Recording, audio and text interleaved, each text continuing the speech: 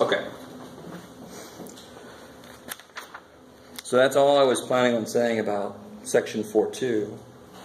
Are there any other questions on that specifically? I mean, you guys got to try it out before you have questions. Okay. Um, 4.3, we, we've done most of 4.3 already. So now I just want to come back and make it a little more formal. Um, just because I couldn't stop myself from talking more about second derivative than I did already. So somebody help me out. If uh, if f double prime of uh, some value of x is greater than zero, then what does that mean? Concave up, which so it would look like this around A, right? Okay. If f double prime of A is less than zero, look like that around A, right? And it doesn't have to have to make that shape. It just if it's increasing and it's concave up, it would do like that. If it's increasing and it's concave down, it would do like that. So it doesn't actually have to make that U shape. It just has to have that curvature to it. So the second derivative measures curvature. First derivative measures increase, decrease, right? Second derivative measures curvature, what we call concavity. So I'm sure some of you guys have heard of concave lenses versus convex lenses, possibly. And concave is the one that caves in, and that's there you go, concavity. How's it caving in? right? I like it. Okay. Uh, oh, and if f double prime of a equals zero, that's the possible location of an inflection point, which is sort of like the idea of max and min. Inflection point, if it is an inflection point,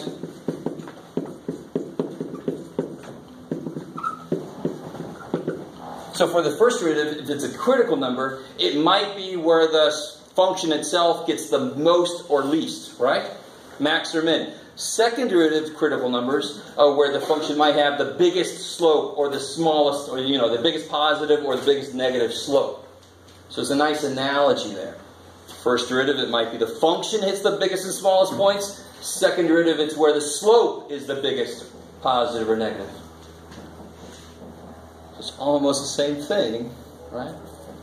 Yeah, right. Because what is the second derivative? Is the derivative of the derivative. So what does the derivative tell you? How much something's changing. So the second derivative tells me how much the slope is changing. So when the second derivative is zero, that's going to be when a place where the slope is the biggest, or the, or the biggest positive, or the biggest negative. Maybe, maybe. Okay. So that's the idea of second derivative. Let's do something nice and concrete with this. Right, so we're going to do an entire problem together with graphing based on what we see. And then I got, you know me, got another handout, Mr. Handout, uh, where you guys get to try one on your own. So let's see what kind of freakiness we can do here. Oh, let's try that. That looks freaky. Um, is that too freaky for us right now?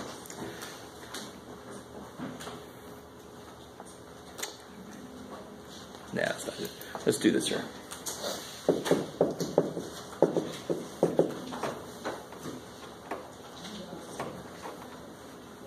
Sure, okay. All right, so what I would ask you is a lot like that handout I gave before. I would say find uh, the critical points. Uh, find f prime, and then find the critical points.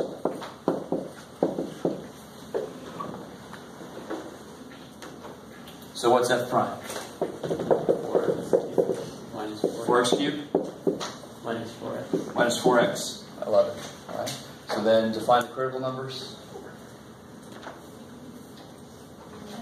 Is that equal to 0? Uh, Nice and easy to factor this. And it will be x squared minus 1, which is. plus minus. Yeah, cool. So then what are my critical numbers? 0. 0? Negative 1. Negative 1 and 1. Kick ass.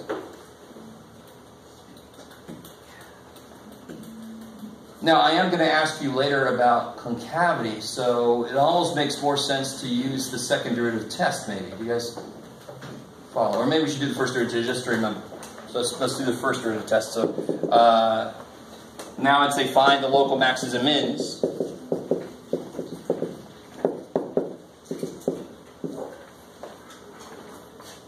So that's where you do what? If I want to use the first derivative test, what do I do? Draw your number line. I like it. Negative 1, 0, 1. These are all places where the derivative is 0. Trust me on this. You want to put a little u up there so when you're collecting answers, you know you can't use that. It's undefined here, so it's no good.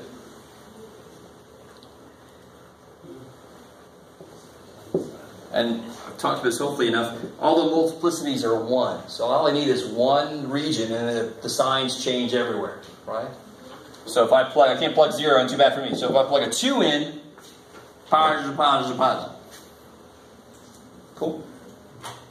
So read with me. And I plugged it in here, thank God. I'm investigating the slope right now. Why does that make sense? Because if I know the slope is positive and then negative, well, then that must be a max. So that's why it makes sense I'm looking at the slope that's first derivative right now. So this is positive, so what's going to be there? No. Are we not cool with multiplicities yet?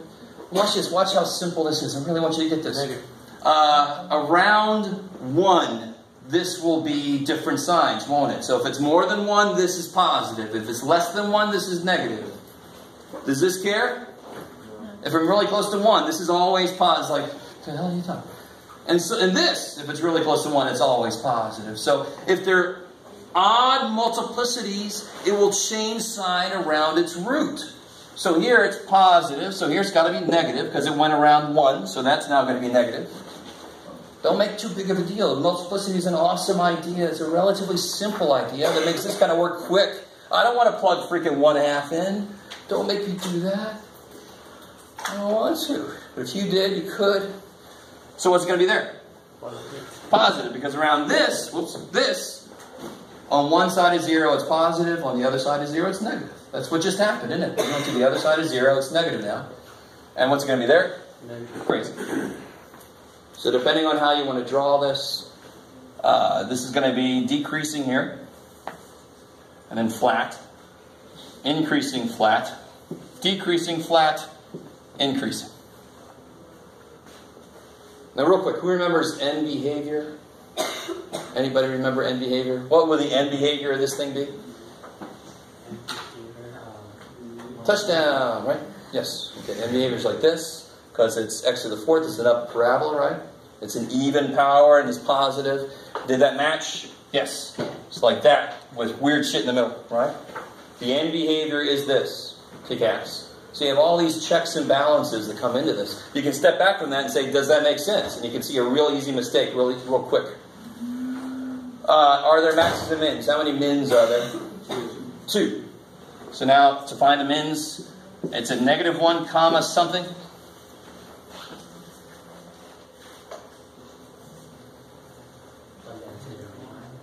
Yeah, good. Uh, when you plug a negative one in, you get one minus 2. It's negative 1 plus 3. 2. 2. I like it. And then also at, so this is a min, and there's a min at 1 something. And some of you guys hopefully realize it's the same thing, because it's all even powers up there, right? And then there's a max at 0, 0 kicks ass, 3. Like it. I like it. How we doing so far? So this is all stuff we've done already.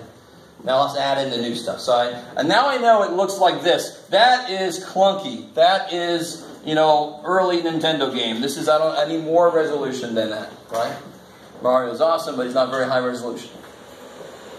So the curvature gives us one more degree of resolution, right? Um, so now find f double prime. So what's the second derivative going to be? 12x yeah, 12x squared minus 4. And what are the critical numbers going to be?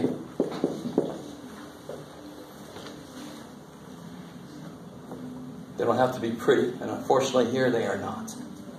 Uh, plus minus 1 over 3? Yeah, well, yeah, yeah, almost.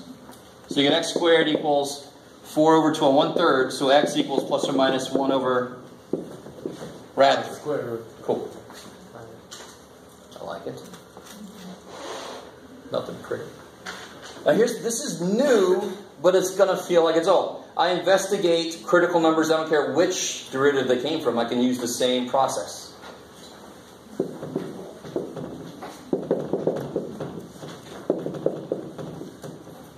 So it's zero here, zero here. Can you guys see what the multiplicities of this of each of these would be?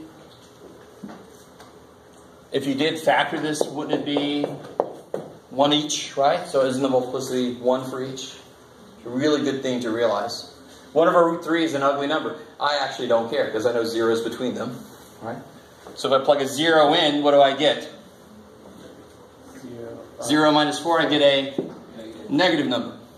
If I plug in uh, 10 million, it doesn't matter. I don't have to actually do it because what's it going to be? Positive. But if it did plug in 10 million, you can see very quickly it's going to be huge minus 4 is positive, right? And of course, the same thing's going to happen because it's squared. If you put in big negative, it's going to come out positive. Okay. So what does that mean? What can you draw underneath? This is where people got to be careful. This is the second derivative. It tells me the shape. It tells me the curvature, right? So here it's going to have what kind of curvature? Uh, Up.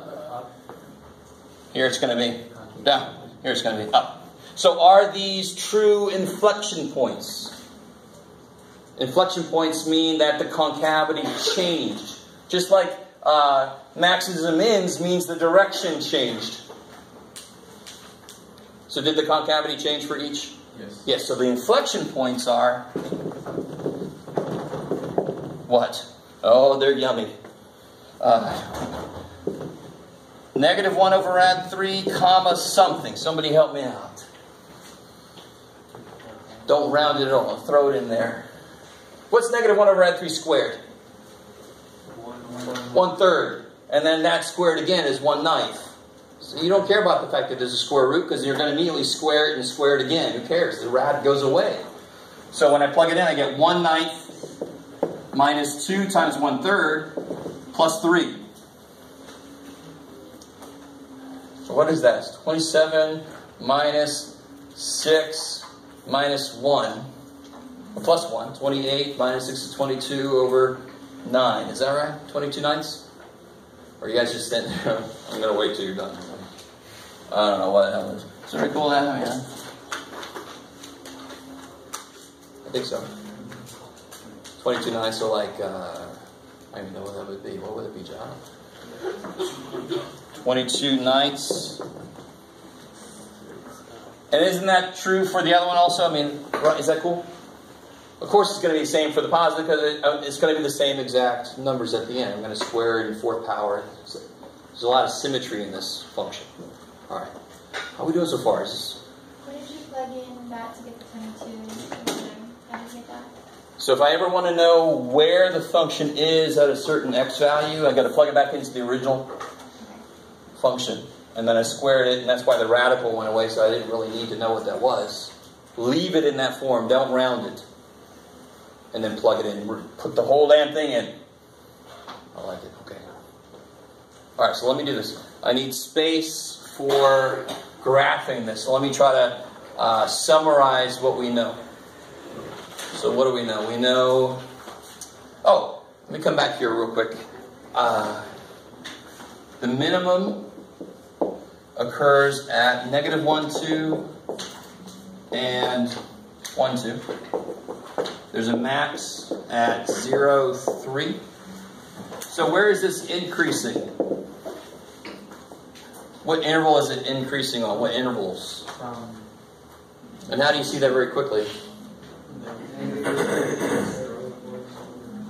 Where is it? Where is it increasing? Would mean the slope is, and you got a big old plus sign there, so it's going to be from negative one to zero,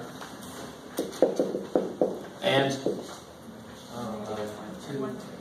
one to infinity. Or is it, yeah, 1 to infinity. Like it. And where's it decreasing? Everywhere I left out. Negative infinity up to negative 1 and 0 to 1. Is that cool? So those, once you make that little number line, you're golden. You just read it off of there. It's awesome. Uh, what else do I know? I know that it's concave. Uh, oh, I'm sorry. There's an inflection point. Inflection point's at, uh, where'd you go? Plus or minus. Now, for the purpose of graphing, somebody help me out. What is 1 divided by square root of 3 roughly? 0.57. Yeah, point five seven seven. Okay. You guys are taking too long.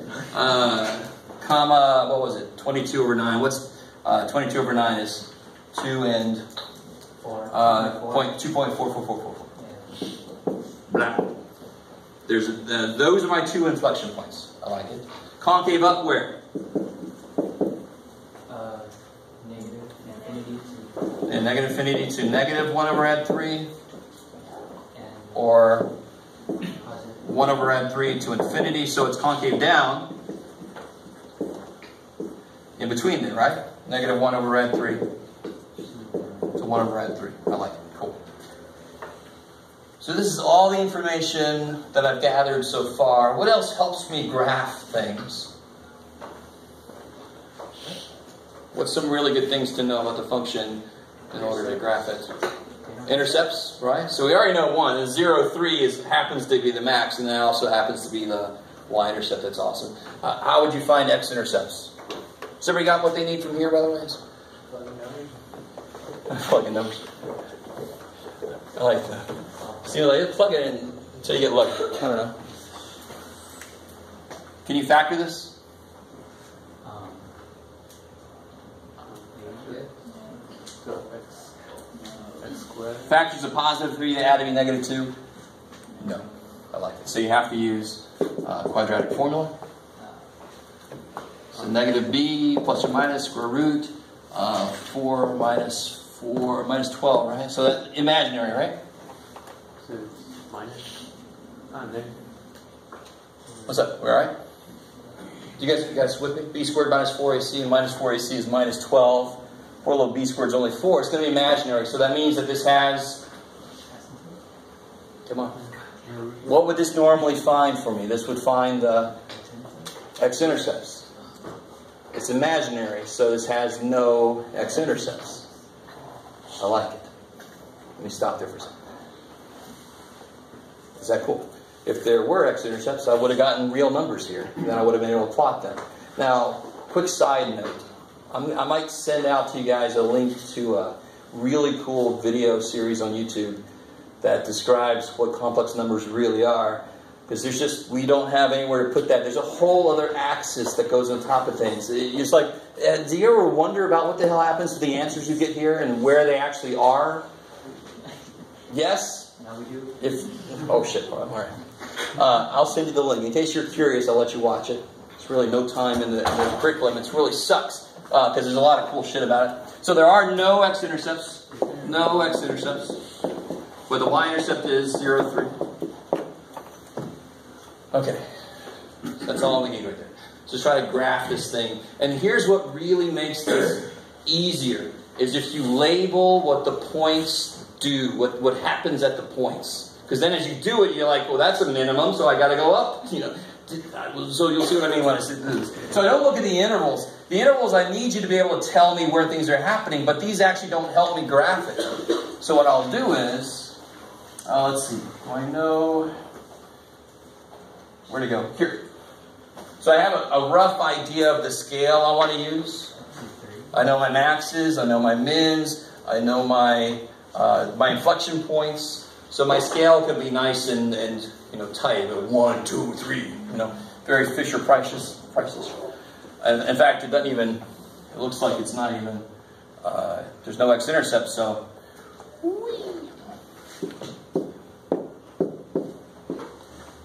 And let's see, it goes negative 1, 0.577, I like it, so, okay.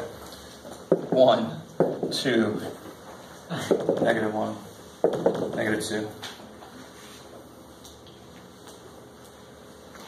So my y-intercept is 0, 3, and that actually also happens to be the max So put a little max there for yourself. Then you keep going. What else? I got mins at negative 1, 2, and 1, 2.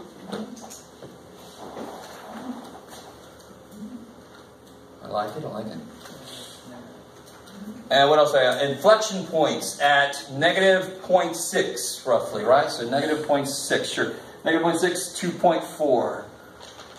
Sure, so that's, I'm sorry, min, min, inflection point, right? Good old yip man. There you go. Uh, it's awesome. And then at positive 0.6, same place here, right? So that's right there, roughly. Inflection point. Okay, I like it. I like it. And you know, uh, I erased it, but you would still have your uh, your uh, first derivative test to look at. Uh, what was it? It was positive, negative, no, negative, positive, negative, positive, right? So that tells you, and you know your end behavior too. So since it's decreasing and that's a minimum, I know it's going to come in like this. And it's uh, it starts off concave what? I sort of incorporated that, but it starts off concave positive. So I'm not going to come at this point like this, because that would be concave down. So I know I start up here, and I know it's concave up. Until when? When is it not concave up anymore? Uh, when you start. At the yip, right? At the inflection point. That's where it changes concavity because that's what inflection point means. Do you see what I mean by if you label the damn things, it's so much easier to actually graph it. So I just do on concave up until I hit this. And then the way to make this really sure that it's now concave down is I actually come at it from the other direction. Because sometimes it's weird to try to go, okay, what's it, you know, what's it look like now? Should, so then that's the maximum. So I'm gonna it's concave down there. See? Woohoo! I like it. And then it's still it's concave down until when? Other point. Until the other inflection point. And then I can come back at it. Then it's like I can start over here. It's up, comes down, and connects there, and it's concave up throughout the whole thing. Crazy. We just made it work. And you can always double check your work in the calculator. And this is why pre-calculus is, as I called it, graphing hell. Is because we've added extra layers on top. Your understanding of how to graph something has to be really pretty good, so I can add this extra shit on top of it. So, here, you guys try this product.